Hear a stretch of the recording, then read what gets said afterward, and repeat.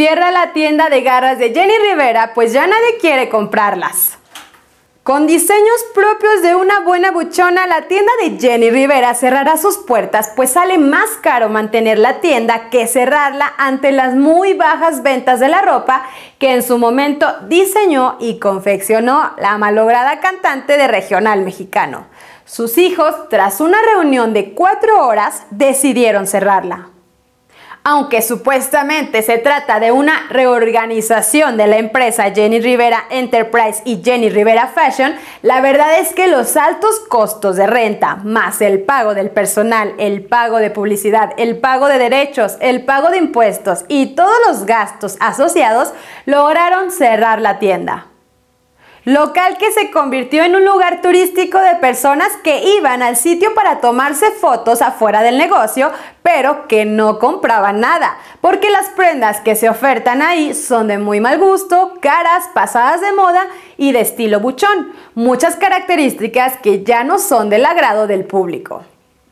Una de las supuestas razones del cierre de la tienda es que se rumora hubo un robo de más de 80 mil dólares que se dijo estaban en las cajas fuertes del establecimiento, pero que en realidad los herederos tuvieron conocimiento de esa pérdida, pero nunca entablaron acciones legales en contra de los probables responsables.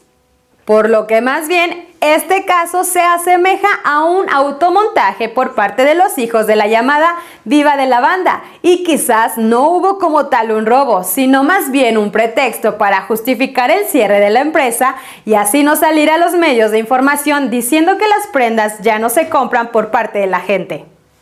Por lo anterior, se está considerando continuar con la venta de los productos de Jenny Rivera, pero bajo la modalidad de venta en línea o a través de las plataformas famosas, con las que se evitarán el pago de almacenes, personal y todo lo que ya habíamos mencionado.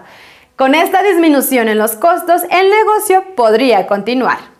La venta de discos físicos que se ofertan en la tienda tampoco ha sido un gran negocio, puesto que las plataformas de entretenimiento ya tienen toda la discografía de manera digital y no es necesario venderlas para poder escucharlas.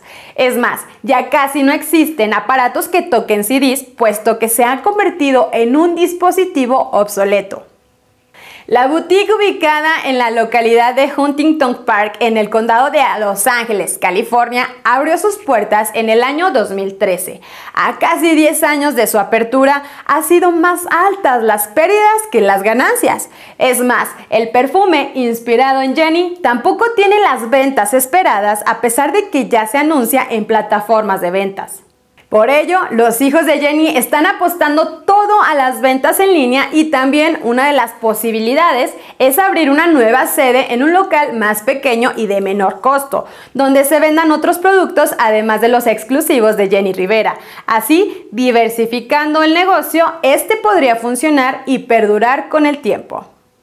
Lo que no se sabe es si el nuevo negocio será una especie de mini super como esos que abundan en Los Ángeles y que tienen un 7, colores verde, rojo y naranja, o de plano el negocio de la ropa lo conviertan en un souvenir o un museo, pero de que ya no será el mismo, eso es seguro.